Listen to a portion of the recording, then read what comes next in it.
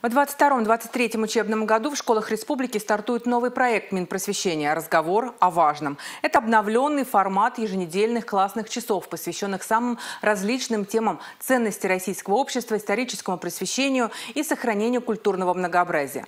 Об этом сегодня главе Чувашии Олегу Николаеву рассказал министр образования и молодежной политики Дмитрий Захаров.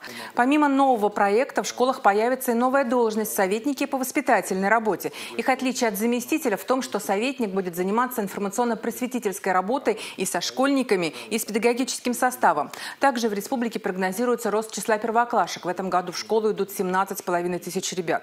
Важнейшая задача министерства, по словам Дмитрия Захарова, доступность дошкольного образования. В этом году удалось обеспечить местами в детских садах всех желающих. Также одно из приоритетных направлений сегодня – обеспечение образовательных организаций квалифицированными кадрами. Перед началом учебного года возникают вакансии как в детских садах, так и в школах. А численность вакансий достигает до 400-500 человек ежегодно. Конечно, мы закрываем в основном это притоком молодых специалистов из педагогического университета, педагогических колледжей. А здесь реализуется и ряд республиканских проектов по поддержке молодых специалистов для того, чтобы они оставались в школах и в детских садах.